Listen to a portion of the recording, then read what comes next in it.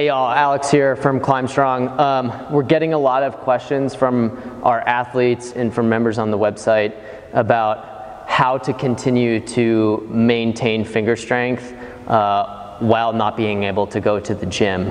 Um, and so we don't really need a, a, hangboard to be doing that, like a fixed hangboard to be doing it, um, to hang body weight. You know, if you have a hangboard at your house, then great, you, you don't have to change anything. But if you're like me and you live somewhere where you can't hang a hangboard, but you have a flashboard or some kind of like portable hangboard that you would normally bring to the crag, maybe you have tension blocks or like an awesome woody setup or something, um, we can still get some good input into our fingers, um, some good stimulus into our fingers with just pulling against a fixed position, right? And so, uh, we don't have to make this complicated, okay? We just, let's just say for now that you're gonna do three sets of 10 second pulls uh, against your feet, right? And this is the position I like to be in. It's easiest for me. I can do uh, both hands at the same time.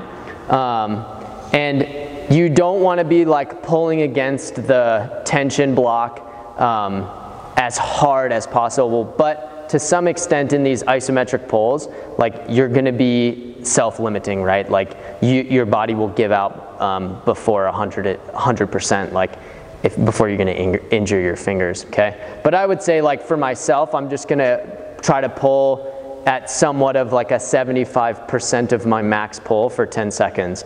And so I'm gonna get myself in a good seated position here, somewhat like tight back, lats are down and engaged, um, my core is nice and tight, and I'm just gonna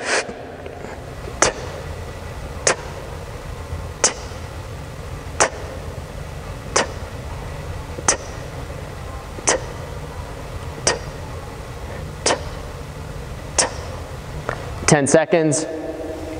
Maybe you're integrating this with some strength stuff and you, you know, get up, do some body weight single leg deadlifts, do some push-ups, couple of mobility exercises, and then you come back to those, to that 10 second pull. Um, and you can add in more grips, um, you know, three to four grips at one time.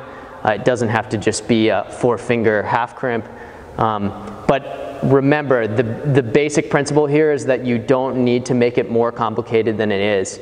All we need to do is just get some stimulus against our fingers, and that's gonna be really beneficial in maintaining finger strength while we can't make it to the gym.